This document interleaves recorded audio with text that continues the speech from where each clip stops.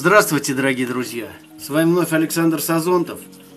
И я, как всегда, представляю свой авторский канал «Рождение новой жизни».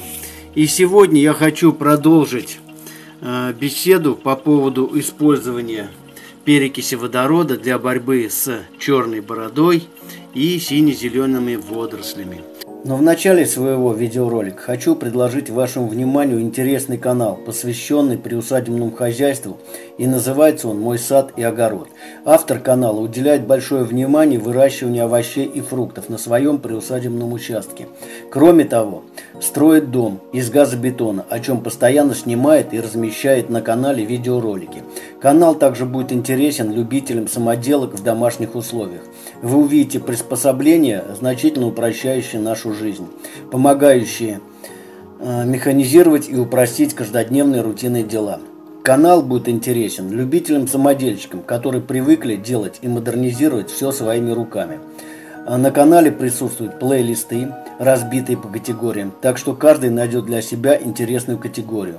Канал молодой, развивающийся. Давайте поддержим автора канала. Заходите, смотрите, подписывайтесь. Ссылка на канал под видеороликом.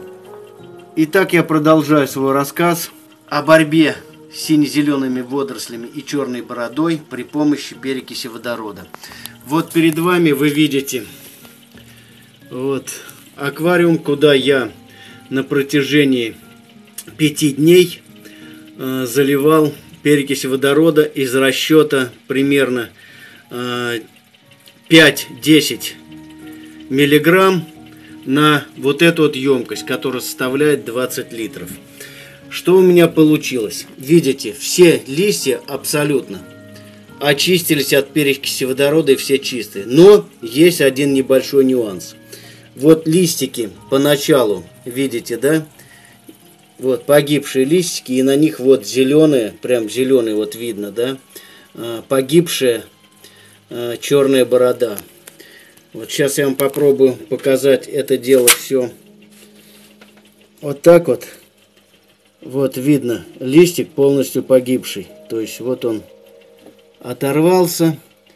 Вот такая же ситуация. Вот погибший листик. Вот погибший листик. Вот погибший листик. То есть вы видите листики, на которых была черная борода. Вот видно, да? И листик погибший, и черная борода тоже, тоже погибшая.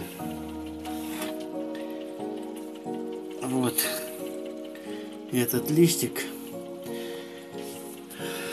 Вот так вот это все выглядит. Вот они, листики погибшие, которые сейчас оторвались.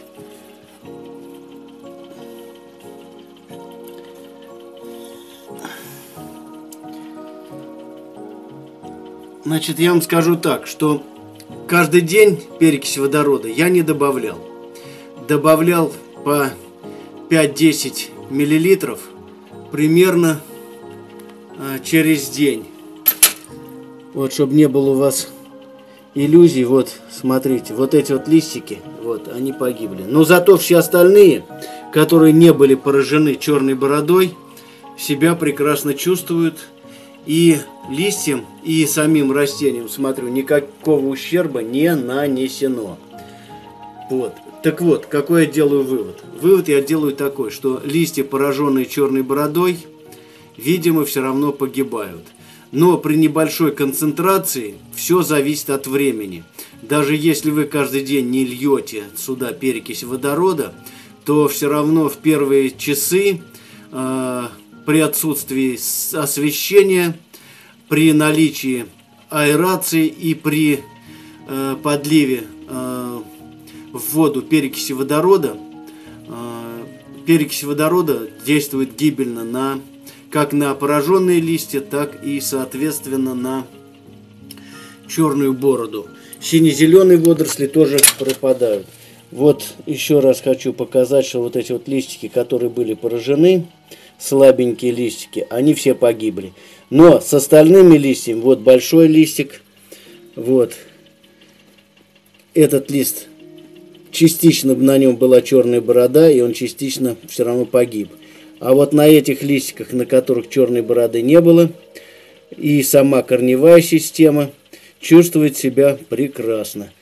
Так что я считаю, что, но это опять же мое личное мнение, значит, бороться с черной бородой при помощи перекиси водорода не только можно, но и нужно. Не обязательно, думаю, покупать для этого сайдекс, который стоит денег.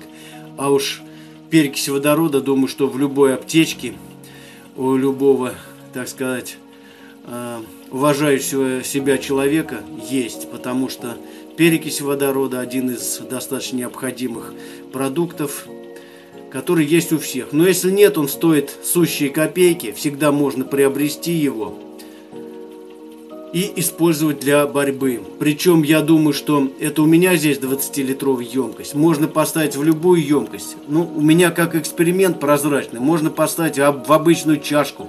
Пусть она будет непрозрачной. Свет абсолютно не нужен. Главное аэрация и наличие, так сказать, перекиси водорода. Поэтому можно поставить в любой кувшин, напихать эти растения из расчета э, литров воды, накапать туда э, перекиси водорода. И если есть такая необходимость добавлять либо каждый день понемногу, либо через день дозировку я вам примерную сказал.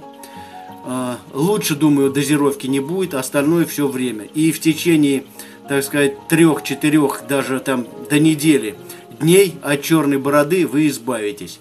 Еще был вопрос у меня, как перекись водорода вообще действует на э, рыбок. Я думаю, что экспериментировать здесь не стоит. Если есть возможность убрать эти растения из общего аквариума, лучше сделать именно так. А, у меня был опыт борьбы с гидрой. Вот, поэтому именно вот так вот было. А, я поместил в общий аквариум, а, налил большую дозу перекиси водорода, но я при этом убрал оттуда рыбок и убрал растения, потому что на рыбках и на растениях, соответственно, гидра не садится, она только на стеклах.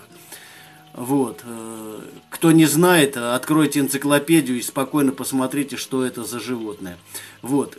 Можно бороться, вернее, это уже даже рекомендации борьбы с гидрой э, при помощи перекиси водорода, кто не знает. Вот. Кто знает, очень замечательно. Но я буду заканчивать свой репортаж. Надеюсь, вам понравилось. Вот так вот теперь это все выглядит, вся борьба с, при помощи перекиси водорода. Я думаю, что вам это в дальнейшем все пригодится.